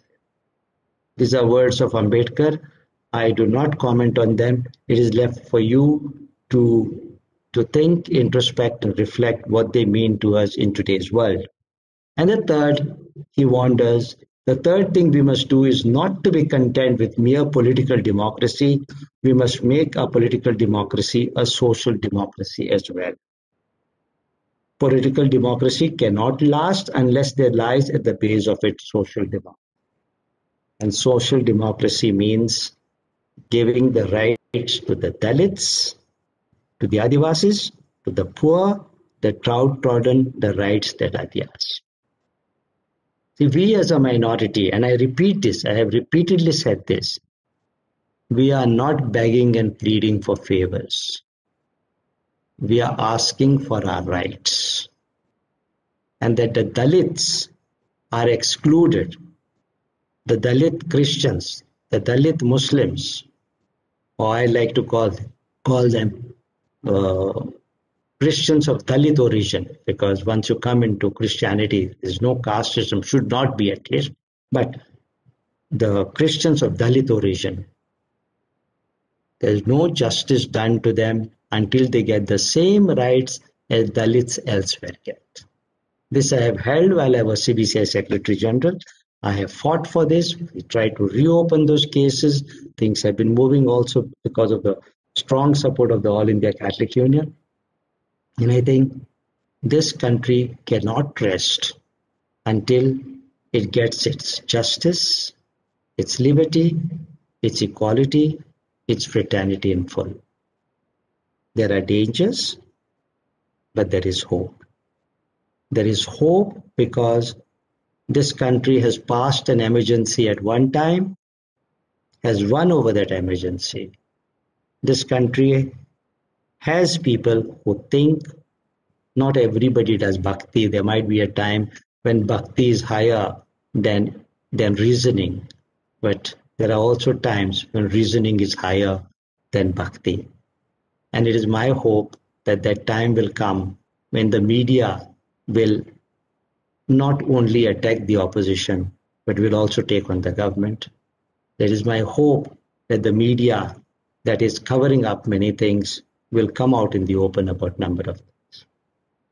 As I said, I, I, I like to go. I've, I've already explained to Lancy why I like to go. Uh, I just I had promised that I would be here, and uh, therefore, in spite of everything, I am here because I wanted to keep my promise. I did not want to be one of those promise breakers on Constitutional Day. Thank you. Thank you very much, Bishop. For a moment, I was locked out for reasons I do not know, but I came back just in time. I requested Elias to take over if I couldn't make it in time. Yeah, good, to have you back. good to have you back, John. thank you very much. Uh, thank you very much, Bishop. I think uh, yours was, as usual, a very frank uh, look and a very critical look at the Constitution, the book that we like, apart from the other book which we worship, the Bible. And which also, by the way, links us, this book links us to Muslims, to Jews, and to many others. Ahle Kitab, all of them. Uh, thank you very much. We hope uh, that your wise counsel will continue to be with us. Thank you for reminding us that you reconciled us with the bishops. We always want to be reconciled with the bishops. I hope they want to be reconciled with us, not only in John. the CBCI, but, but in the dioceses and the representatives in the parishes. We are at the grassroots. And that is where the Constitution is observed, defined, and also protected. Thank you very much, Bishop, for your presence. John, to be reconciled, you must first fight. Thank you very much. And that, that nice we do. That we do indeed. Uh, have a nice. Thank you, Bishop. Uh, have a nice. Thank you. Our thank you. Speaker, yeah. Our next speaker is one of our own. Rafael de Souza is president of the Bombay Catholic Sabha, which is the biggest diocese and therefore the biggest Catholic Sabha in the country. It is bigger than the Catholic associations of many countries in Europe, if I may say so. He is also a prominent uh, member of the leadership of the All India Catholic Union and the host who has opened up his doors and uh, his associations, his sabas, Tilbox, if I may say so, to give us this this forum free of charge every time we use of the WebEx system. So, in this, with his words of gratitude, Rafael is a lawyer practicing in the Bombay High Court and uh, is one of our legal counsels, gives us sound advice privately and publicly. Uh, sometimes differs, mostly agrees. And uh, we are looking forward to his participation, not as an office bearer of the Catholic Union, which he continues to be, but as a senior lawyer himself. Uh, thank you, Dr. John Dayal, uh, the President of All India Catholic Union, uh, Kuna, His Lordship Bishop Theodore, the previous speakers, uh, Natasha Badhwar and Senior Advocate Rebecca John, and my dear friends, I'm not too sure whether I deserve to be in the company of this august panel to speak to you. But what am I uh, to decide when uh, the national president of All India Catholic Union and the spokesperson veto and say the access fallen on you? Well, my dear friends, uh, today is a constitutional day and we are talking about defending the constitutional rights. From August 29th, 1947 till 26th of November 1949, a period of 12 years, 2 months and 28 days. That is the time taken by the Constitution Committee of our country to draft the constitution and lay the final draft of the constitution before the Constituent Assembly. While some say Mr. B.N. Rao, the constitutional advisor, prepared the initial draft based on his research into constitutions of other nations, it is also recorded that Baba Sahib Ambedkar who is called the father of the constitution, studied constitutions of over 60 countries before drafting our constitution. So we can imagine the research and hard work that has gone into in framing of our constitution.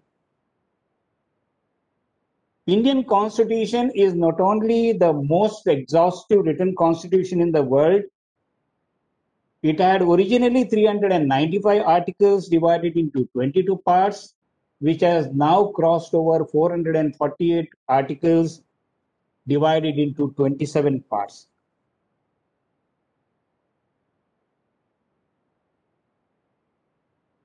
Indian constitution is also, although is young at 70s, is the most amended constitution in the world whereas the Constitution of USA, which is about 200 years old, had 27 amendments. As of 25th of January 2020, we saw our constitution being amended about 104 times. Sovereignty, socialism, secularism, democracy, republican character of Indian state justice, liberty, equality, fraternity, human dignity, and the unity and integrity of the nation are the valuable insights that are enshrined in our constitution. Today, as we are talking about defending the constitutional rights, we have to ask ourselves who is the defender of the Constitution?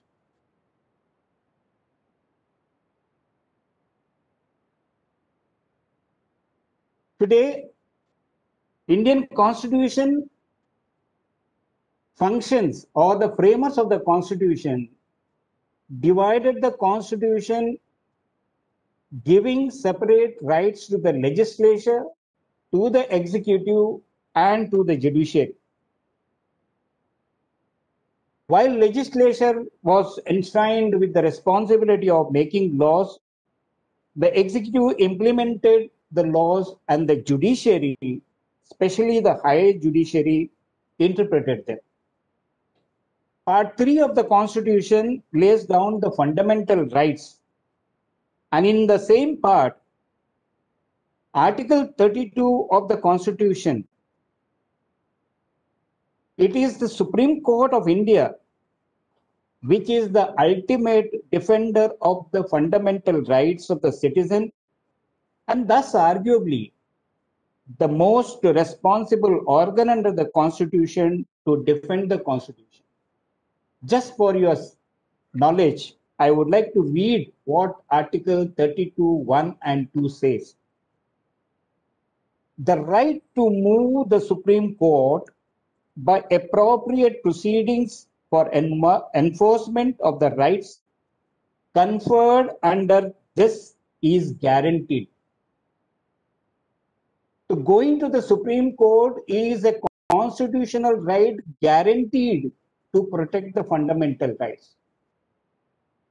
My previous speakers, especially Senior Advocate Rebecca John, has already pointed out the statements made by the Chief Justice of India in a recent case.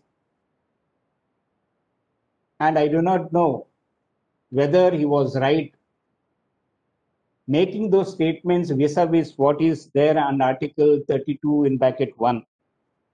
Article 32 in bracket 2 says, the Supreme Court shall have power to issue directions or orders and writs, whichever may be appropriate for the enforcement of any rights conferred by this part and the subclause 4 says the rights guaranteed to the Supreme Court by this article shall not be suspended except as otherwise provided in the Constitution. So, my dear friends, the Supreme Court of India has the tallest responsibility in defending the Constitution. Baba Sahib Ambedkar has been already referred to and quoted in several instances by our previous speakers. He said, I would also like to quote one. He says, however good a constitution it may be, it depends on those who implement it. The constitution is as good or as bad as the people who implement the constitutional rights. Has the courts always been defending the constitutional rights of uh, the citizens? I would like to say partially yes and partially no. As far as the landmark judgments, some of the landmark judgments, the Supreme Court, where upheld the fundamental rights, is one of the landmark cases, the Keshanand Bharati case, where the 13 judges bench of the Supreme Court held that the basic structure of the constitution could not be abrogated even by a constitution amendment. Today, in the history of uh, Indian judiciary, this is the largest bench which has ruled that the constitutional basic structure, that the fundamental rights, part 3 could not be amended even by a, an amendment. The second I'm sorry. The second case where the Supreme Court, according to me, upheld the fundamental rights is that of Ramesh Thapar versus State of Madras, wherein the Constitution bench of the apex court held that in a democracy, people have a right to criticize the government. The court said, and I quote, criticism of the government exciting dis- disaffection or bad feelings towards it is not to be regarded as justifying ground for restricting freedom of expression. And the third just, judgment that I can quote is the two bench, two judge bench judgment of the Supreme Court recently in Arnab's case. While it is questionable that the alacrity by which Arnab's case landed up in Supreme Court and he got relief. What statements the judge made is very relevant. Justice Chandrachud, while hearing the arguments and countering it, has said, if we, that is the Supreme Court, as a constitutional court, do not lay down law and protect personal liberty, then who will? And then he says, if we do not interfere in this case today, we will be traveling down a path of destruction. So these are some of the instances where the Supreme Court of India has really upheld the fundamental rights of the citizens. There are judgments of the Supreme Court which have led to the constitutional amendments. And here I would like to quote the first of the judgments that influence the uh, in, judgment of the Supreme Court that influence an amendment to the Constitution.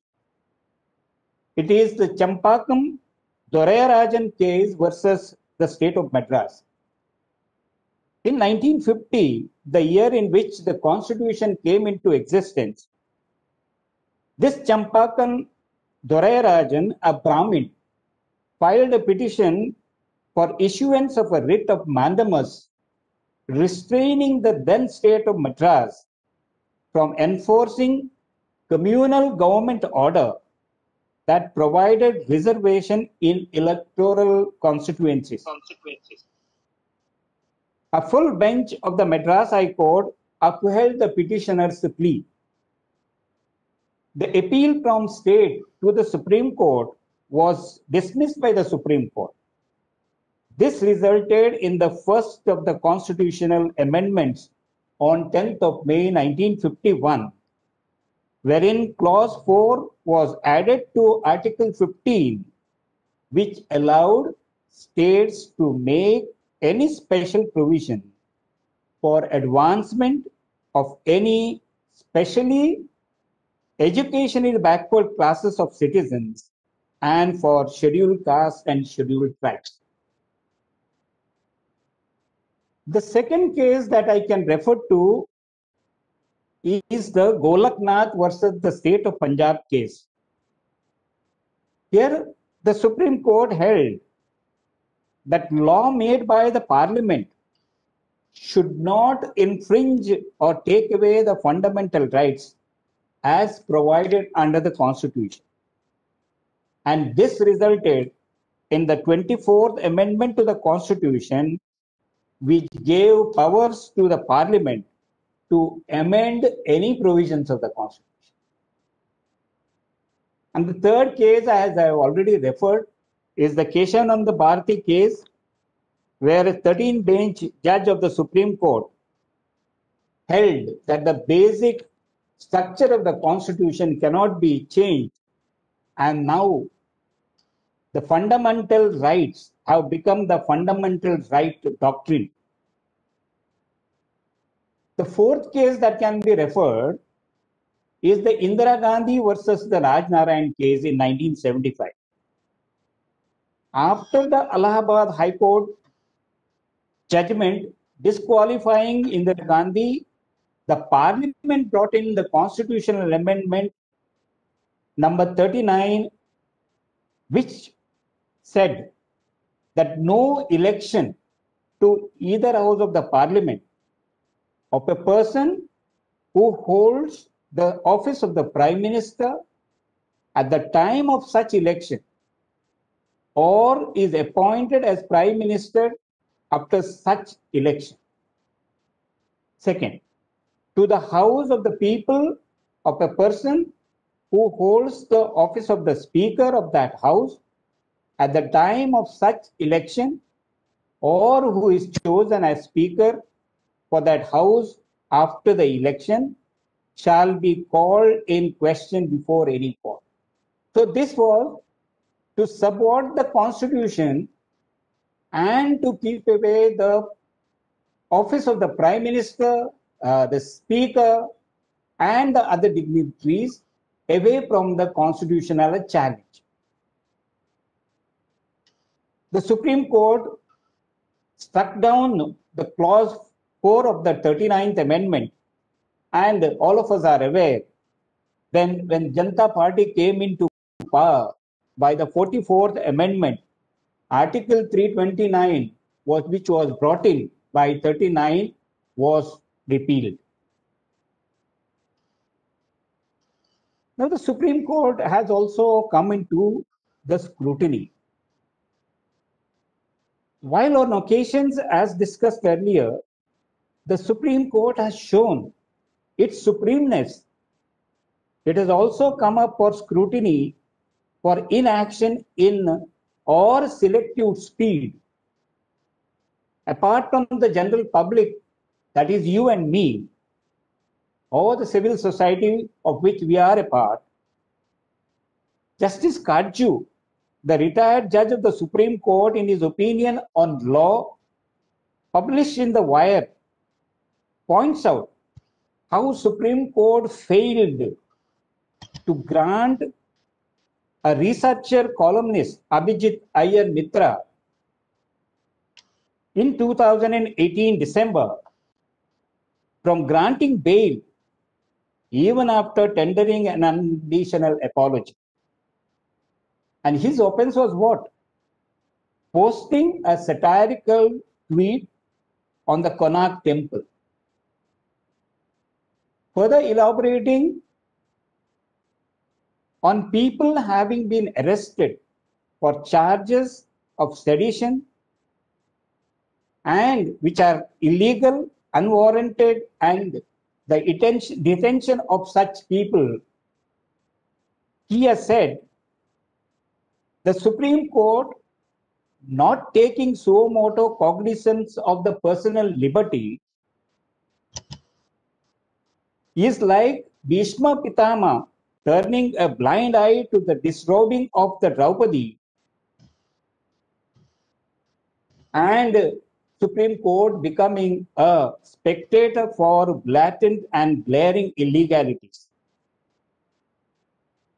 In his anguish, he asks, what then will remain of the numerous verdicts of the court itself, stating that the Supreme Court is a guardian of people's right. Now we are also aware what happened in the case of Mr. Prashant Bhushan. The speed by which his tweets came to be converted into a contempt of court petition through a moto. And thereafter, after spending valuable time and energy of the apex court, punished with one rupee fine. These are all instances where we ask whether the courts have been impartial in delivering justice system. Yet another case wherein the Supreme Court has come for supreme scrutiny is granting of bail on the guise of protecting the personal liberty. The speed by which Arnab's case traveled from the lowest court to the highest court, a matter of seven days. Does it amount to equality of justice or discrimination of justice?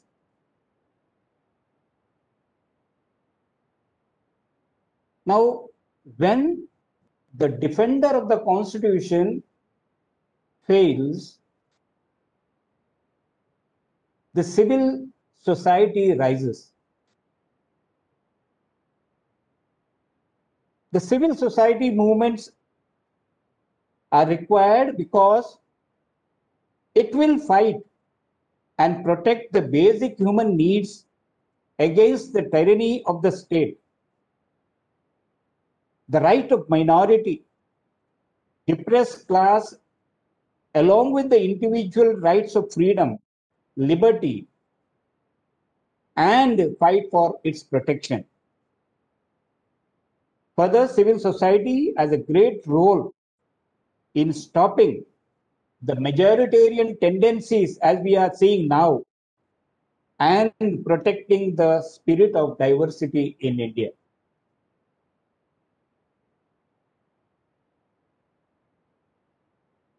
the civil society's involvement, we are aware, is the cause of several legislations to be brought in, and one of them being the Right to Information Act.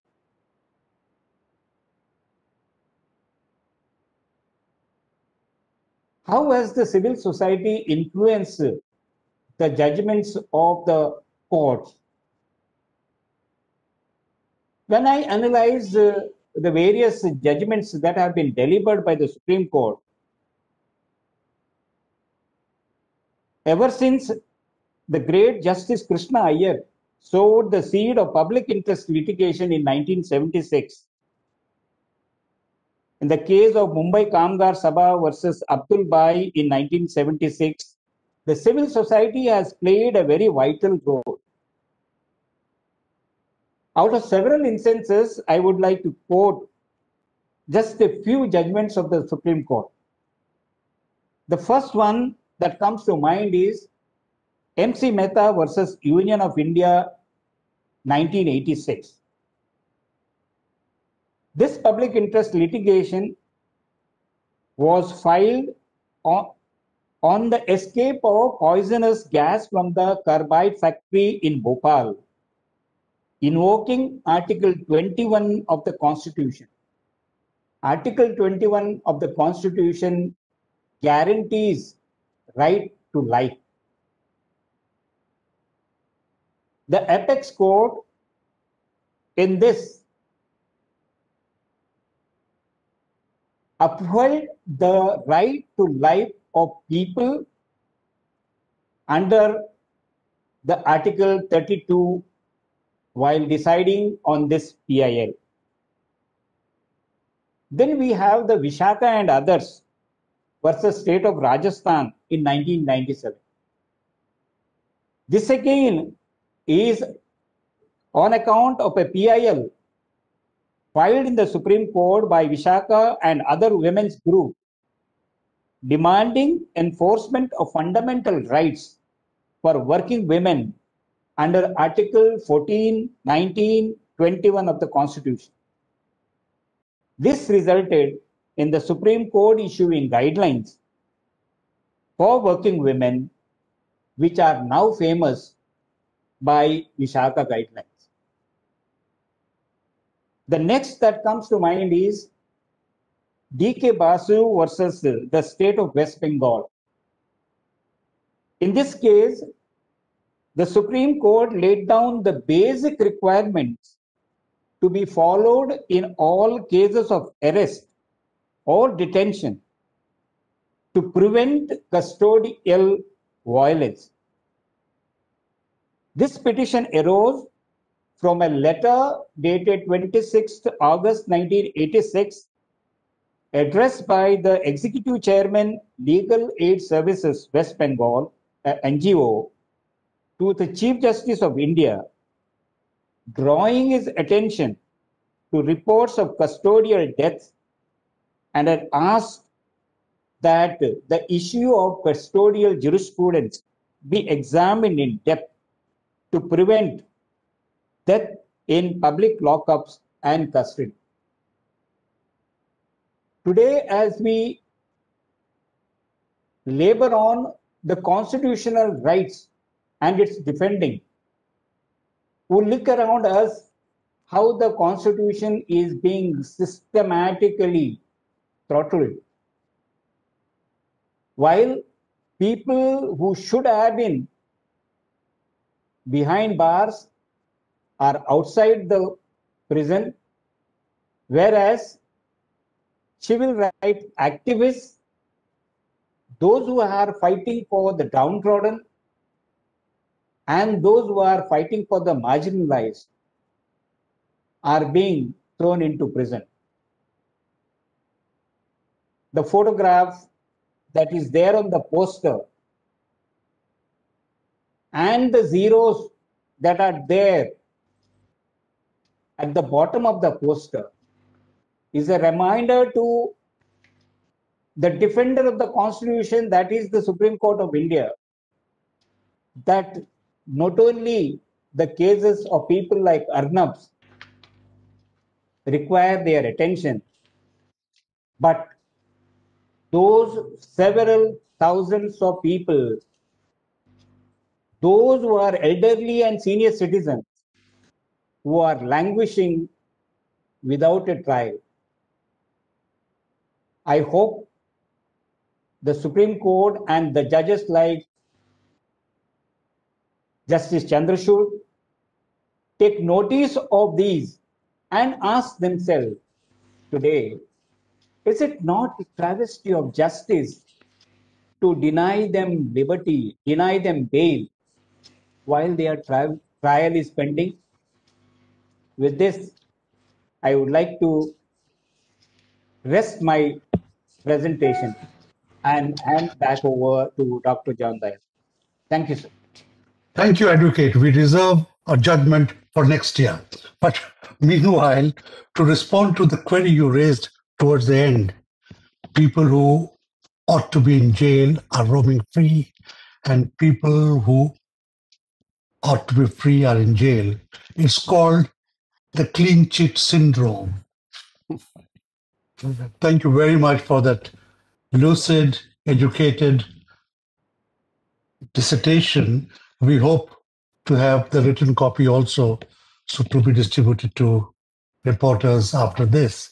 Uh, I wish we could have uh, many questions that arise to be answered, but at 8.36, we have far exceeded the scheduled time, and uh, the membership of the webinar is coming down. It's 78 from a very, very high high for a Catholic Union webinar. So I, in my capacity as moderator, must make a very drastic ruling there will be no more questions unless, because Natasha is still with us, unless there's a question to her, we will take three brief questions before I ask Elias Vaz to say thank you. Please uh, uh, raise your hand or whatever, unmute yourself. The first voice, speak.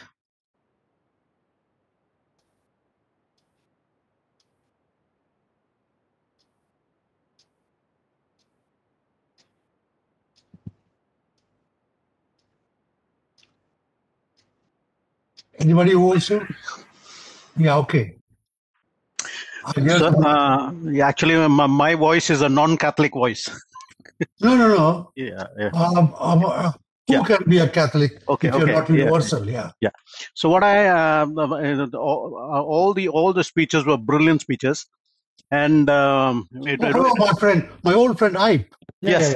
Now I see you. Yes, yes, yes. Uh, you're as Catholic as they come. Universal. Right yeah so um, uh, the thing is uh, the question i have is you know um, now we we've uh, we we've questioned about um, article i mean um, ruling 30 uh, 32 now in all these cases as as social uh, activists okay where does contempt of court come? Now suppose we we uh, we okay. we, we fight no. through through we got, the, we got the question we got the question because this has been discussed. Natasha it's for you Only questions addressed to you are to be answered. Natasha, please unmute yourself.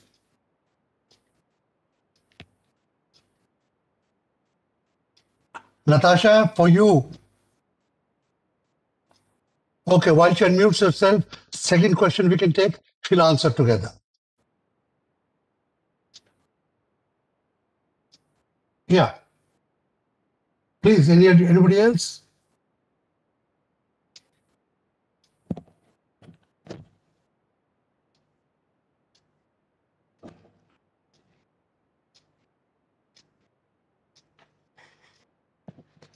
My own phone is creating problems. Natasha, can you hear us?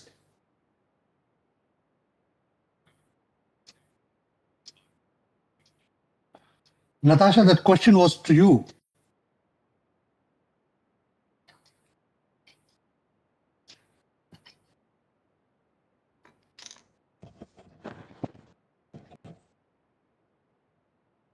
Hello.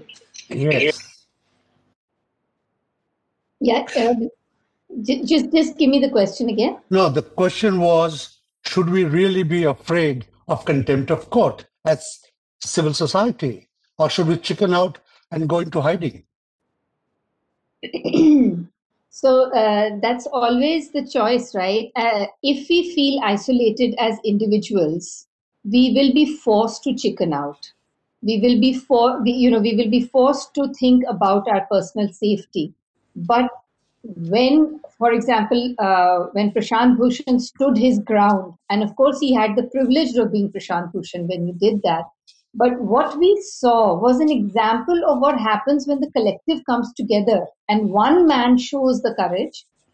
The kind of uh, solidarity and support that was expressed for him by people who had live webinars going on every time there was a court hearing, as well as the people who were sending messages at that time, and I mean, you know, not to mention the media and people who uh, braved the lockdown and the pandemic to come to the Supreme Court and actually stand there with their masks on, knowing that the police could lathi charge them.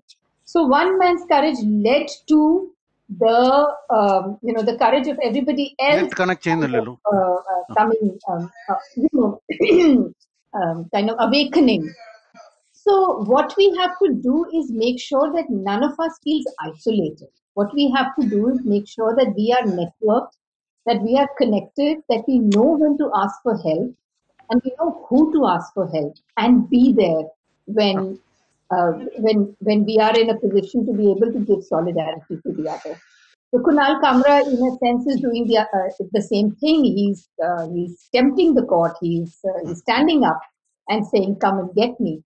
And uh, and the court is um, uh, reluctant because they don't want to uh, you know um, make the same mistake again and have uh, mud on their own face yeah. Thank you very much because the question is very relevant to us in the catholic union. How far can we go? Can we risk our necks? Can we stretch our necks out? Because we are contemplating several approaches including filing writs in the Supreme Court to see that, for instance, people over 70 or 75 are not kept in lockups if, they, if they're not convicts, if they're just under trials, or if, if they're not even under trials, they're just suspects, and they're kept for such a long period under this terrible laws like UAPA, etc. And uh, there are always two schools of thought. One says, bide your time, when things are better, when there's a better bench. The other says, dare. For somebody, who doesn't dare, he won't win. So that is a, quite a trauma for most people in civil society. Anybody else wants to question Natasha on a civil society approach? She's not a lawyer, but she knows many lawyers, I can tell you that.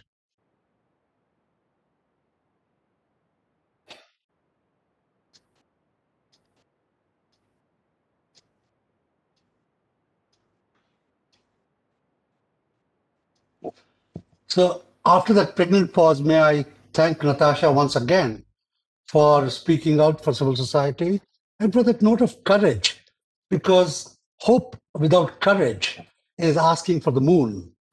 Hope with courage is bringing the moon under your grasp. Thank you very much, Natasha. Thank, Thank you, you, Rebecca, Mammen John.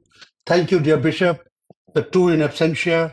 Thank you, Rafael, for again the very professional, almost academic discourse. And to find good speakers among ourselves is such a such a joy always. May I call upon the Catholic Union Vice President, Elias Vaz, engineer in Goa, a man who will go far, to give us the formal word of thanks.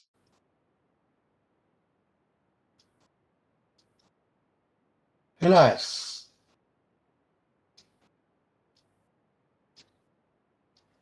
Unmute yourself, Elias.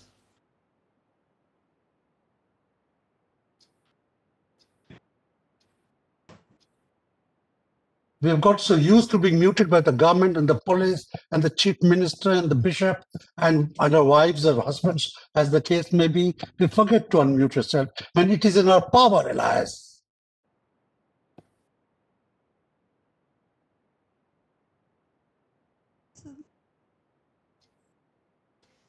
Can't hear you, Elias. I can see. I can see him speak, but I can't hear him. I think we we give him another one minute and then I do the thank you.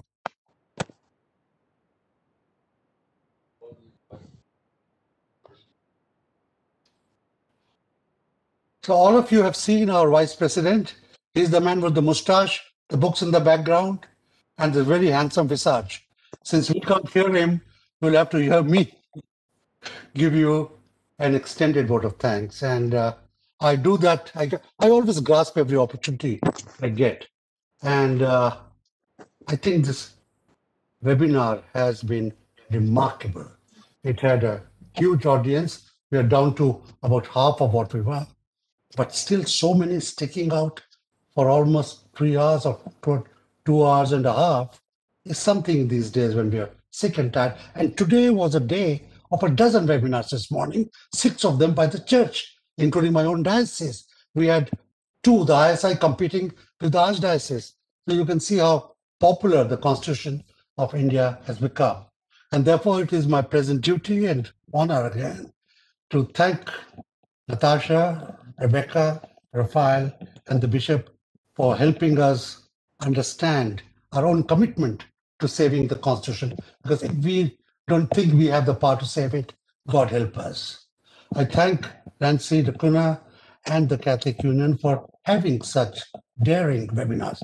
It is no joke to have a webinar where you don't know what people will speak, or John will speak, or what the bishop will speak, or what Rebecca and Natasha will speak.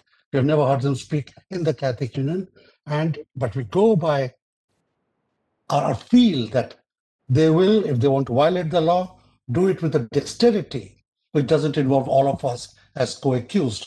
But let me assure you, Natasha, if we become co-accused, we will be with you.